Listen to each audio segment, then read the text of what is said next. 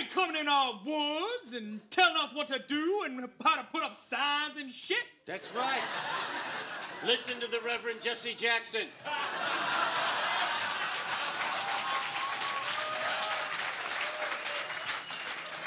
He lives in that oak tree over there. The big one in mine. I voted for you. I appreciate that. Now, there's something y'all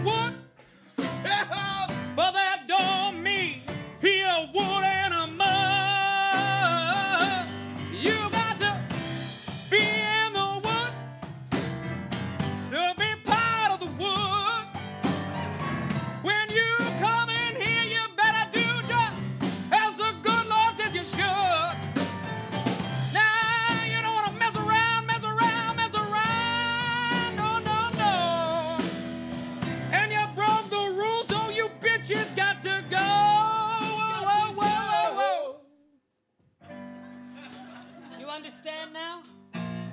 Yeah. Kind of. I think so. Yeah, I think you made it really clear.